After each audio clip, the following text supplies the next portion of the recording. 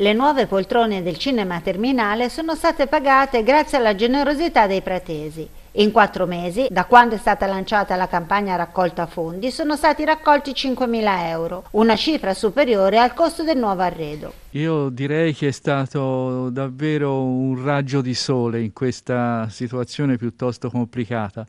Abbiamo avuto più di 100 sottoscrittori, siamo riusciti a superare l'obiettivo che ci eravamo prefissi sui 5.300 erotti euro un aiuto per un investimento per noi importante.